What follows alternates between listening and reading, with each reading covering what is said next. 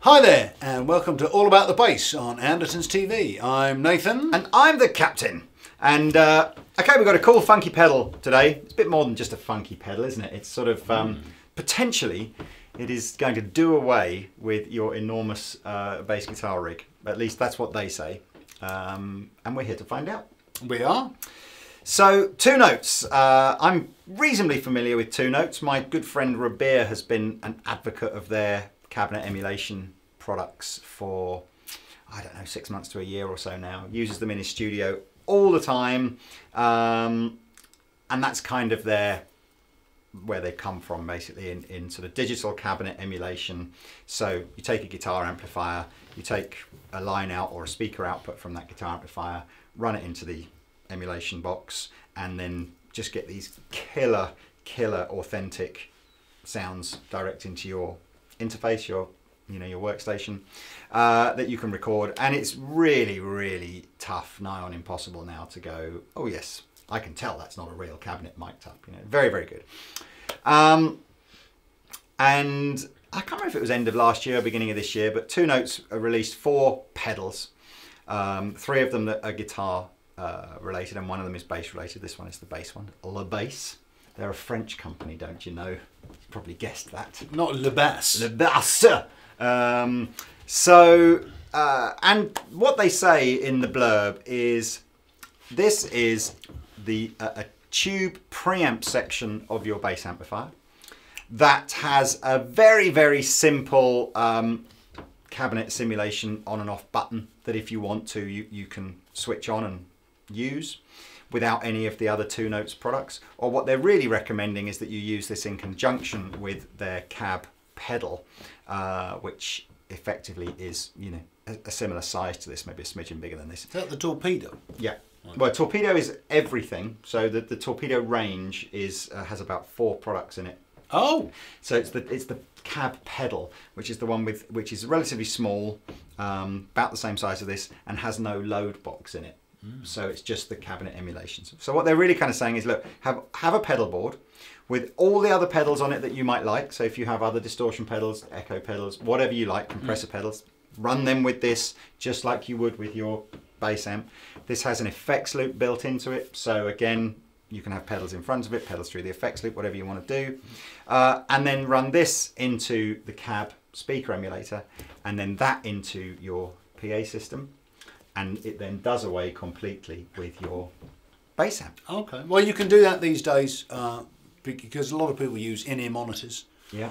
Um, so you know that's that sounds great. Uh, or if you've got just decent wedges, you know, Yeah. big wedges, that's going to work too, isn't it, on stage? Yeah. So yes, Nathan's completely right there. You know, if you've got a little, you know, if your foldback consists of a, a 25 year old H and H 50 watt powered wedge, you're probably not going to get rid of your bass amplifier. But if you've got a modern, you know, like thousand watt wedge, or you're using in ear, it's a possibility. So what we've got here is we're running this pedal. Uh, we're running this pedal in isolation. So there's there's no other pedals. We're not using the, the cab emulation, the separate cab emulation, or anything like that. We're running this pedal into a regular bass amp. Um, I'll tell you for why in a minute. And we're also running it into a PA cabinet, which is then carrying on through straight into the interface. So you're going to be able to hear um, what the pedal can do as a straight preamp pedal into a bass amp. So if you've got a bass amplifier, you'd just like to sort of jazz up the tone and give yourself some switching options. That's what you'll hear when it's running through this. Uh, and when we signal, uh, you'll also hear what it sounds like just run straight into the DI, which um, gives you an idea of how perhaps you might be able to record with this or into PA. Now recording does kind of come a bit more into its own because one of the things that you get for free as part of a digital download when you buy one of the um, pedals, the two notes pedals, are 16 of their um, cabinet emulations that you can then use with your you know copy of Logic or Cubase or Pro Tools, whatever you're using. We're not using any of that.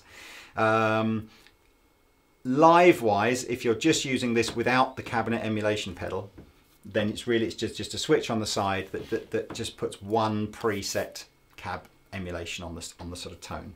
So look, we're going to kind of play around with that. These are relatively affordable, in my opinion, for a, sort of piece of pro kit. They sell for about £220 a pop. Uh, all of the, the pedals sell for this price, regardless of whether you buy the bass one or the guitar ones. They're tube uh, driven. Uh, the, the, the blurb says that the voltage running through the tubes is 200, uh, 200 volts, 200 millivolts or 200 volts?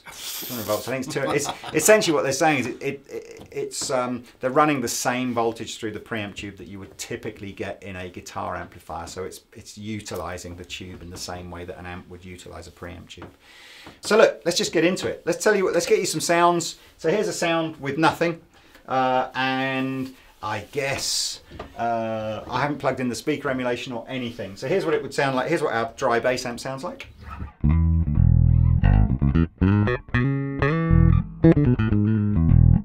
And uh, obviously we aren't going to hear this bit, but just for your sake, uh, yes we will, we'll hear it through our little PA cabinet in here.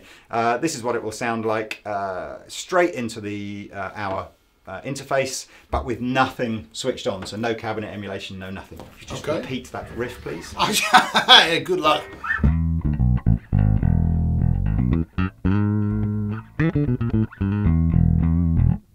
So that's kind of what a PA, uh, what a bass would sound like straight into your interface.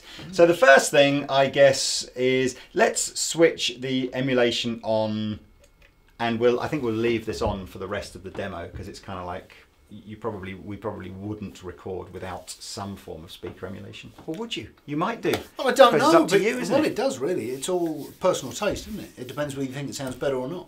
Can we do an A B with on and off? Of course we can, yeah. Um, I suspect what will happen is once we introduce some preamp distortion from here, Yeah. without the cabinet emulation, it's probably going to have that high sort of transient kind of frequency that's Right. just like a bit like that. nasty. Do you? Personally, yeah. Uh, okay, cool. Well, hey. So yes, Nathan and I have just had a little conflab, and we've decided that the easiest way to do this, we're going to do the full demo of the pedal straight into the amp, and then we're going to do the demo again, effectively into the um, workstation. So if you're not interested in what this sounds like into an amp, you can press your fast forward button now until the, the next bit happens. So um, essentially the pedal's got two preamps. It's got an A preamp uh, and a B preamp. The, the A is a clean kind of preamp. The B has got a little bit of dirt on it. Uh, if I press both buttons together, we go into what's called a fusion mode. Um, has two versions of fusion, cold and hot fusion. Cold fusion is where both A and B work in parallel, and you have a blend control. So um, you can blend between blend between whether you want more of the clean or more of the dirty. Uh, hot fusion works in series, and preamp A sort of cascades into preamp B, so it acts as like a, a boost, an extra boost to drive preamp B harder. That sounds very exciting. Um, tons and tons of I/O on here. So we've basically we've got the, the input for the bass guitar here. Uh, we've got a DI output that we're that you would run into your interface or into a workstation or whatever uh, with speaker simulation, uh, switchable on and off. Uh, a straightforward line output that you might put into a bass amp, uh, which uh, where the speaker simulation doesn't affect uh, a through, which is a complete through of the bass, so it doesn't go through the pedal or the speaker simulation or anything. That can just go Oh, off to okay, somewhere yeah. else. Uh, I guess if you want to do, um, you know, if you want to reamp your, you know, if you Yeah, want for sort of- recording yeah, maybe, and you a- just want the, the dry dry signal. signal for reamping, you come out of there. It's got an effects loop. It's got MIDI in and MIDI out. So again, you can either trigger the switch changes via MIDI from another device, or you can get this device to trigger MIDI changes on another uh, device. It's got a headphone socket too. Has it? Yeah. I didn't even see that. It's got a headphone Yeah. socket, ground lift. Um, it's fully loaded. This, so we're going to start doing the demo. And what we're going to hear is we're going to have a little bit of a play around with what, what does this sound like as just a standalone pedal into our Markbass amplifier. We're using a Markbass Big Bang. And then we're going to do the second half of the demo where we use the DI output straight into the interface uh, with the speaker simulation and you can kind of see how authentic that sounds. The other cool thing that you get um, when you buy one of these pedals uh, is you get uh, an unlock key to download uh, 16 of the two note uh, cabinet emulations uh, that you can then run in your you know, Logic or Cubase or Pro Tools, whatever you're using. Uh, we're not using those today. We are simply just using the pedal as is. So the only speaker emulation that we're using is the switch on the side here, uh, which you'll only hear through the interface, as discussed. so anyway, let's get on. So let's just have a play around. Here's your here's your dry signal.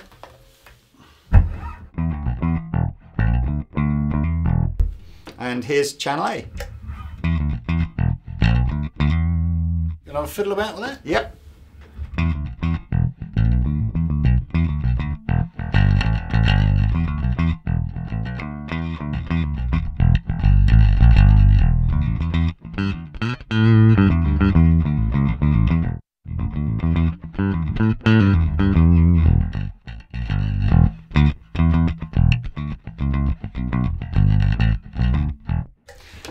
Just again, it's just like having one of those sort of pre-shaped buttons on your on your bass amp, isn't it? It just adds a sort of a Yeah, more variable though, I guess, because you know you can tweak about with it to your heart's content. Can't yeah, but it's just a clean sounding, kind of modern sounding Mm-hmm. bass amp, isn't it? Really.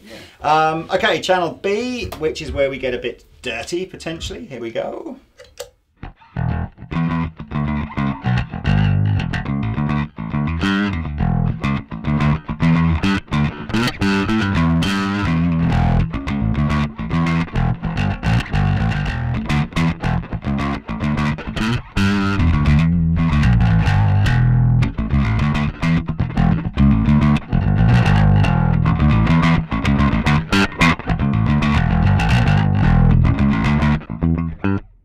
Like channel B. Channel B's got lots of guts. It's to it, good, man. it? Yeah, yeah, it's really good. It's like a, a proper sort of bass overdrive Yeah. thing going on there. Yeah, sounds fat. So we're going to fusion mode now, and basically we've got the two options, the hot and cold. We'll start in cold. This fusion button here, um, we initially thought it was a blend control, but what it, what it, and it sort of is, but it's not panning from preamp A to preamp B. Right. It's defining how much of preamp A you hear in the overall mix. Okay. So if we start with the, the cold fusion, which is where sort of preamp A and B are running simultaneously but in parallel rather Yeah. than stacked.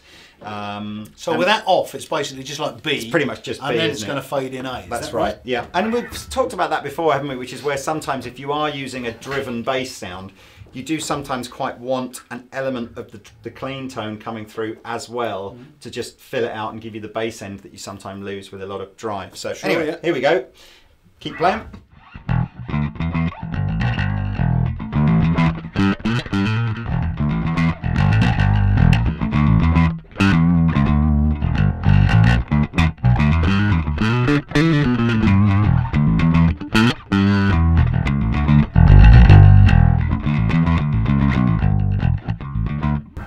Going to hot fusion mode now. Notice the uh, display changes every Woo! time you, you, you change a mode.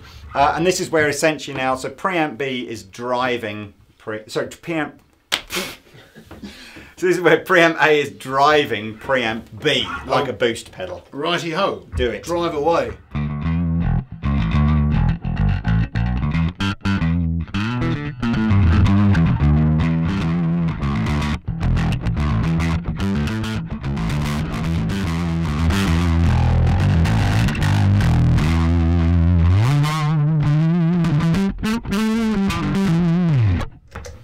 So look, that's the quick overview of the pedal into the amplifier. I think we'll, we'll jump straight in. We're going to essentially do pretty much the same thing again now, where you're just hearing the, the DI output, because I'm guessing for a lot of people, they'll be thinking, do you know what, I just want to have a little bit more control over my bass guitar for recording.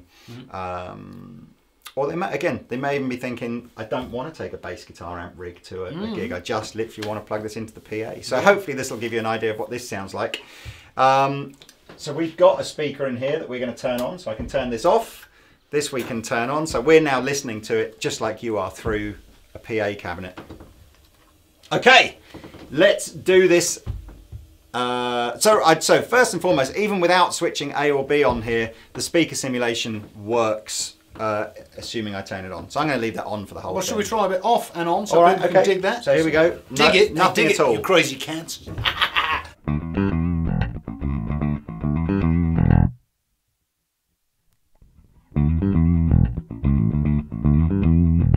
So it's a little bit of extra warmth and a little bit less top end. I think that's fair to say. Um, Here we go. Here's preamp A.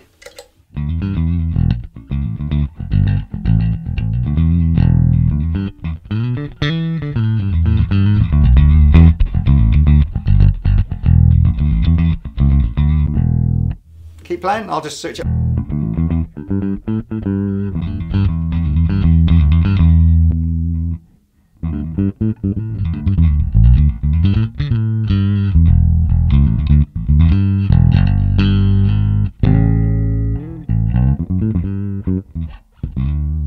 Never ceases to amaze me actually how okay a bass guitar sounds just plugged into a PA with nothing, isn't it? I mean, it sounds better with this for sure, but you know, you could certainly get away with it, can't you? Just plug into a PA. Well, that's why you know in so in so many recording situations and live situations, you know, they, that's the engine. It just wants it DI'd, like Mm. Yeah. before the amp, before anything. So- they just yeah. want it, the bass DI'd. Yeah. You know, Yeah. See Anyway. all the time. So let's do B, which is I'm guessing kind of where the speaker emulation will come into its own a bit more because I, I, in my opinion, if you don't, if you just let all the high frequency through when you've got distortion coming from a pedal, that's when it gets unpleasant sounding. But here we go. Here's B.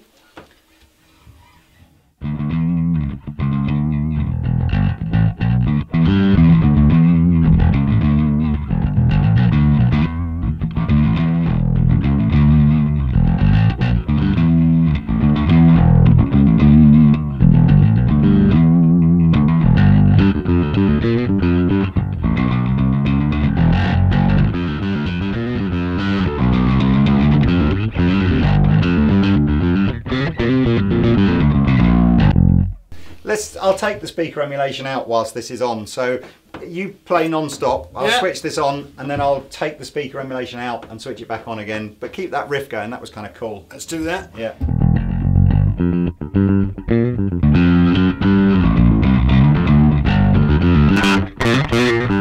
I see what you mean about Yeah. those high frequencies. Yeah, horrible. so keep You going, were- you were on.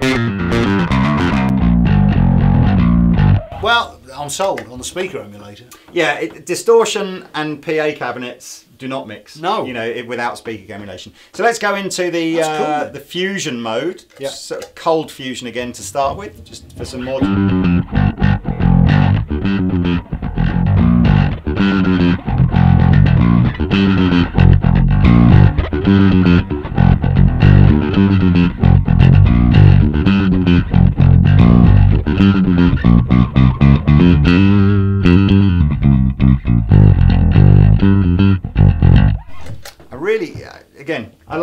Basic tone of this pedal. I think it's very, you know, it's it's they've captured a nice. I don't know what they've copied it on or based it on, or if it's their own basic preamp design, but I it's I like it. Yeah. Uh, so lastly, into hot mode, hot mode with a bit more distortion again. Uh, here we go.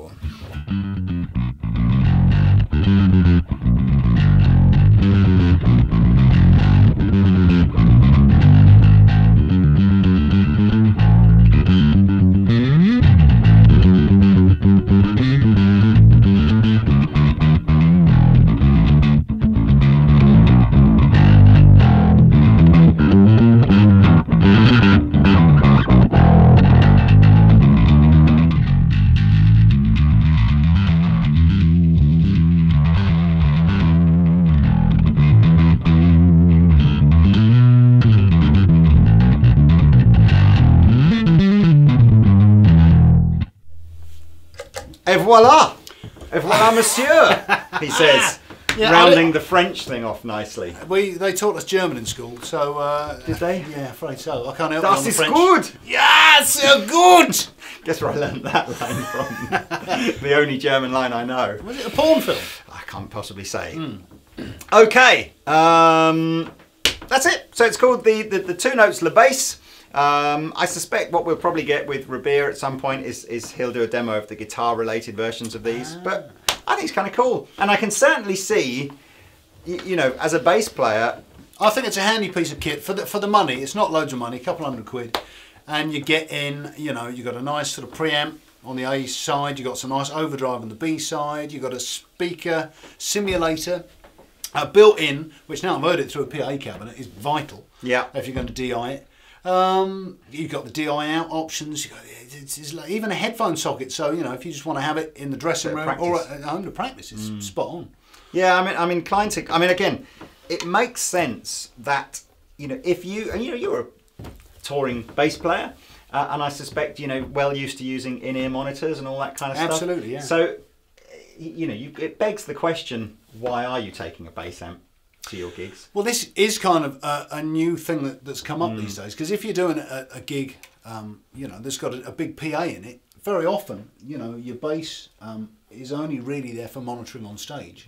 Um, so, yeah, technically, if you've got Mm. Well, really good mon- in-ear monitors, There's for monitoring on stage, and if you've got a sound that you like from your bass amplifier, Of course. Yeah, yeah, that's yeah. an important part. Yeah, yeah. But if you get a sound that you like from this, yeah, Uh, yeah, and and I mean there is an argument. I think on certainly on guitar stuff, I think the cabinet emulation is so integral to the sound of your guitar. I can understand why if you had one of the guitar related ones of these pedals that you'd want the cabinet pedal as well. But I think on bass stuff where you know the cabinet emulation is a more subtle effect. Uh, although I can feel lots of comments to the contrary yeah, coming maybe on. this is like you know typical guitarist talking, don't know anything about bass guitar, and, I, and I'll take that on the chin. Uh, but if your sound is a, if you know, if you're not going to use the distortion sound on this, or, I don't know. Look, I mean, I'm, all I'm trying to say is, I, I think potentially there'll be more bass players buying this pedal and choosing not to bother with the cabinet emulation pedal than there would be guitar players. Oh, yeah, I, I, I know what you mean. Yeah. Um, so, Well, you know, because with the guitar, I suppose there are so many different uh, options. Uh, Yeah. You know, the 112, 212, full 12, open That's what back, I mean, close yeah. back, blah, and, blah, and, blah, it, and it changes the sound so dramatically when you go from one cab to another on an electric guitar, whereas whereas on a you know bass, whatever. Do you know what? This is the beauty of these videos. Nobody's right or wrong. It, we just have an opinion, and you, you- well, obviously, yeah, Nathan's right, uh, and then you, you you know you discuss away in, in the comment section below. But there we are. Look. Um, that was good. You know, I mean, it's it's it's. I was kind of sort of. I think it's deceptive this because it's you, know it's not that expensive. I was kind of thinking it wouldn't do that many things, but it does loads. I think it does Um, loads. you know. It's got lots of features on it. Yeah. Yeah. That, that are all useful. Yeah. Or, well, mostly useful. Have we missed anything? Is there anything on the bottom? No, there's nothing on the bottom. Uh, there's nothing on the top here, is there? No, that's it. It just is what it is. Uh, that's it. Thank you very much for watching. I've been the captain. And I've been Nathan. Au revoir. Okay, so let's. Here we go. Preamp A. Whoa, moly, I turned it up again too much. Sorry about that. Uh, let's try that again. So.